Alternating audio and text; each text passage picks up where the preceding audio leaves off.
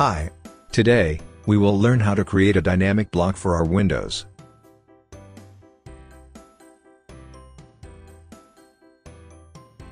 Now, the first thing we need to do is to make out our window.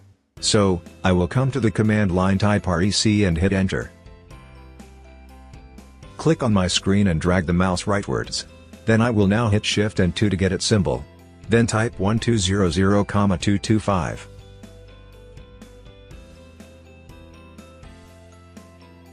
Now the 225 represents the 9-inch wall. This shows that the window is an exterior window. So I will drag it and center it. Now the next thing is to create a new layer. So I will click here and now type Windows. I will change the color to the favorite color I love using for Windows layer. That color is blue. Now I will highlight the objects and go up here and select Windows. Now the next thing is to explode this rectangle. So I will type X and hit enter. Let's check it out. It has been exploded. Let's offset this by 50 millimeters. I will offset downwards.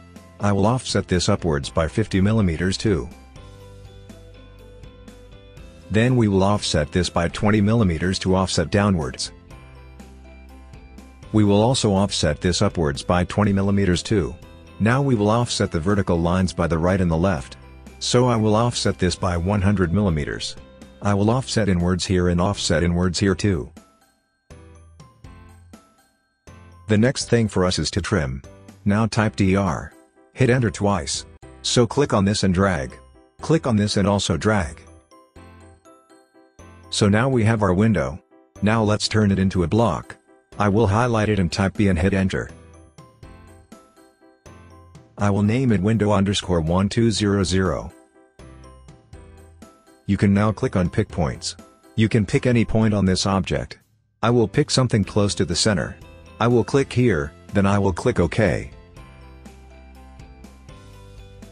Now let's turn it to a dynamic block. So to do that, I will double click on the block and go into the block editor. While at the block editor, we will need to take note of some things. We have the Parameters tab, Actions tab, Parameter Sets tab and Constraints tab. Let's make use of the Parameters tab. Now, if our aim is to increase the height of the window, we would choose linear parameter then measure from here to here. If our aim is to change the width from time to time, we will choose here.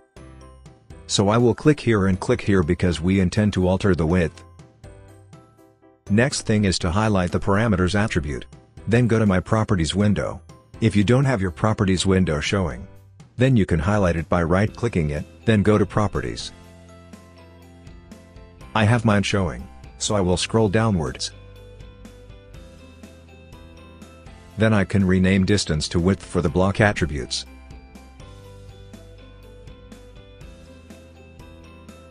Then these are my grips. 1 and 2. I will prefer increasing the width from only one side. So I will set my grips to only one. Next thing, go to your Actions tab click on it and choose Stretch which is the closest to what we want to achieve. So let's read the command line. It says select parameter, so select this. Next thing, it says specify parameter points to associate with action. So I will go for these grip point. Now specify first corner or stretch frame.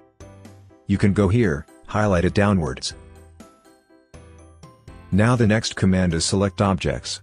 So I will select only the objects I wish to be able to move while editing the dynamic block.